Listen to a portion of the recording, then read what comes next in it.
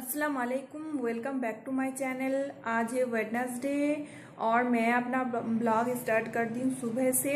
और आप सबको मिलादुन नबी मुबारक हो। और मेरा आज देखिए क्या प्लानिंग है। आज तो मैं सोची थी कि बिरयानी बनाऊँगी, लेकिन मेरा तबीयत थोड़ा ठीक नहीं लग रहा है। सर्दी हो गया है मुझे और सर्दी में बहुत परेशान रहती हूँ मैं। बहुत ज़्यादा मतलब बहुत तकलीफ़ होता है मुझे सर्दी में। जैसे गला दर्द हो रहा है नाक जैसे जल रहा है लग रहा है नाक में कुछ जल रहा है इस टाइप का तो मैं अभी जाऊँगी डॉक्टर के पास। आ, तो देखते हैं आज क्या होता है। मैं सोची थी बिरयानी बनाने के लिए तो पता नहीं क्या होगा लंच में बनेगा क्या डिनर में बनेगा वो भी नहीं पता है। सोचती हूँ तबीयत अगर ठीक नहीं रहेगा ना तो कुछ नहीं अच्छा लगता है कुछ भी नहीं अच्छा लगता है। अगर तबीयत ठीक रहता है तो सब कुछ ठीक लगता है। तो अभी मैं जाऊँगी डॉक्टर के पास, फिर डॉक्टर के पास आके देखती हूँ क्या होता है, क्योंकि बिरयानी बनाने के लिए वो चिकन जो है मैं मैरिनेशन करके रख दी हूँ रात में। तो बनाना तो है ही मुझे, लेकिन रात में बनाऊँगी कि दोपहर में बनाऊँगी वो नहीं डिसाइड की हूँ, अगर तबीयत ठीक रहेगा तो अभी बना लूँगी। और आप लोग को एक बात बताना है कि मेरा आज एक्चुअली मेरा हस्बैंड का बर्थडे भी है। वो जब हुआ था मतलब उनका जब बर्थ हुआ था बर्थ तो वो उस टाइम मिलादुल नबी के दिन ही उनका बर्थ हुआ था। तो उसी हिसाब से आज उनका बर्थडे है। ऐसे तो जनवरी में है। Hello friends, good evening. अभी मैं आ गई हूँ किचन में बिरयानी बनाने के लिए तो मैं आज डिनर में बना रही हूँ बिरयानी। जो बिरयानी के लिए आलू लगता है, उसको मैं हल्दी और नमक दे के बॉयल करके रख रख दी हूँ और इसको मैं अभी कढ़ाई में तेल डाल के फ्राई कर रही हूँ। और इस साइड में प्याज को फ्राई कर रही हूँ बेरेस्ता के लिए।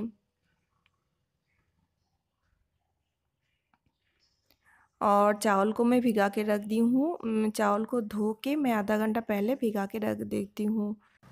और चिकन को मैं कल रात में ही मैरिनेशन करके रखी थी तो इसको मैं ginger garlic paste curry coriander powder cumin powder curd salt और बिरयानी में मसाला जो मेरा होममेड है।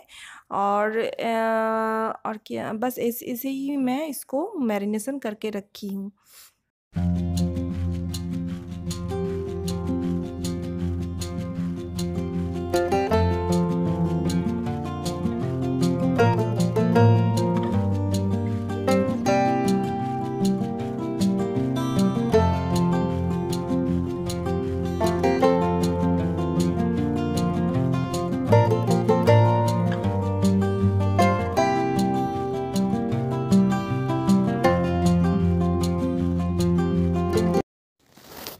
आलू मेरा फ्राई हो चुका है तो इसको उठा के रख लूँगी एक साइड में।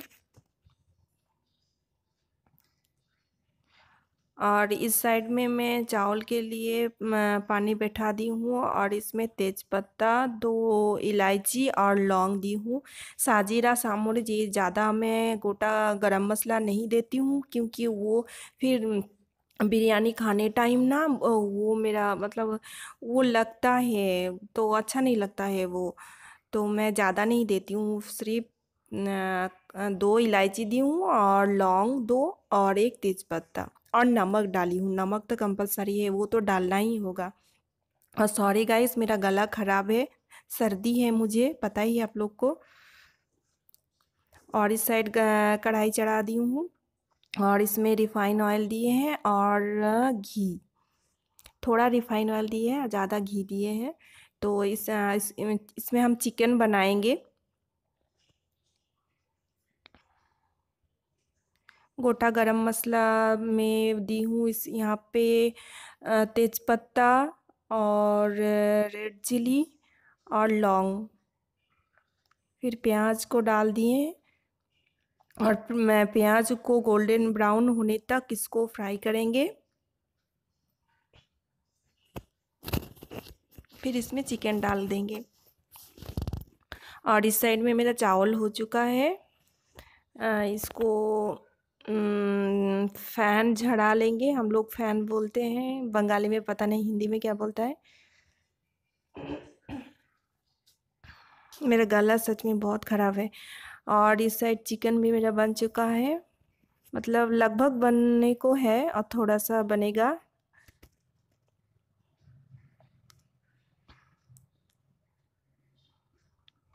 चिकन मेरा हो चुका है, गैस बंद कर दी हूँ। अब दम लगाने की बारी है। ये मेरा होममेड बिरयानी मसाला है। मैं घर ही में बनाती हूँ। मैं वो मार्केट का मुझे अच्छा नहीं लगता है। और ये छोटा सा हांडी ली हूँ, ये हांडी में ही मैं बिरयानी बनाती हूँ कभी कभी कढ़ाई में भी बनाती हूँ। तो आज हांडी में मन किया तो हांडी में बना रही हूँ और तले में मैं जो वो चिकन का जो ऑयल होता है ना मतलब ऑयल और घी दे के मैं तो चिकन बनाई हूँ, वो दी हूँ, फिर बिरयानी मसाला छिड़क दी हूँ, फिर इसमें राइस डालेंगे।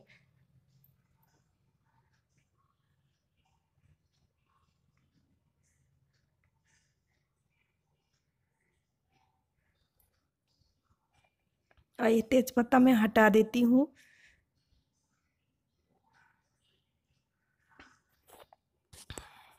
फिर आलू डाल देंगे और बेरेस्ता और मेरा बेरेस्ता सच में देखिए गाइस बेरेस्ता एकदम अच्छा नहीं बना है क्योंकि क्या हुआ था, मैं वो लो फ्लेम में मैं बेरेस्ता को बनाई और ज़्यादा ऑयल सोक कर लिया है तो इसलिए बेरेस्ता मेरा ऐसा हो चुका है। बिरयानी मसाला छिड़क देंगे, आलू और चिकन डालेंगे। फिर चिकन डालेंगे।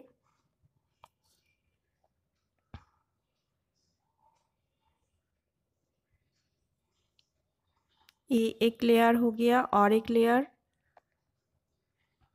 एक्चुअली बिरयानी में दो ही लेयर दिया जाता है, लेकिन मेरा ज़्यादा हो गया और जगह भी छोटा पड़ गया मतलब छोटा हंडी ली हूँ, एक बड़ा हंडी भी है। तो छोटा हांडी में मुझे तीन लेयर करना पड़ा था और सेम प्रोसेस में फिर से मैं ऐसे ही करूँगी, बेरेस्ता, फिर बिरयानी, मसाला, आलू और चिकन डाल दूँगी।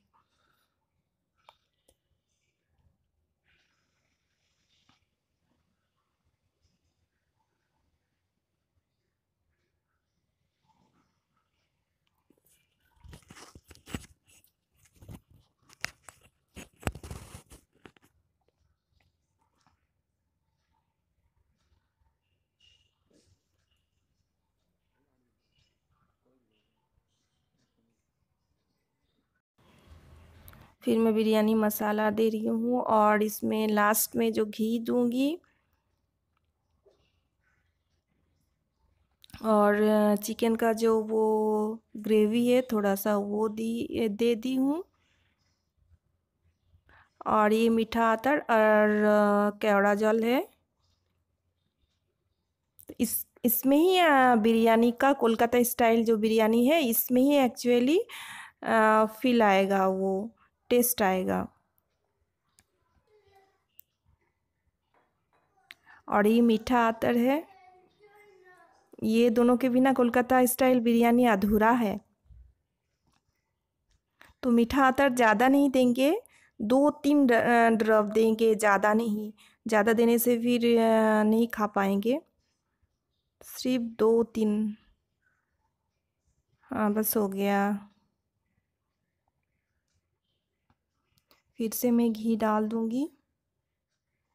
और इसको दम के लिए हम बिठा दिए हैं गैस में। और इसको कुछ नहीं की हूँ बस ढक्कन लगा दी हूँ और आटा को घोल हूँ और आटा को चिपक दी हूँ चारों तरफ़ क्योंकि उसका जो दम है वो बाहर निकल के ना आए। और ये दम लगाऊँगी मैं 20 मिनट, फिर 20 मिनट के बाद खोलूँगी।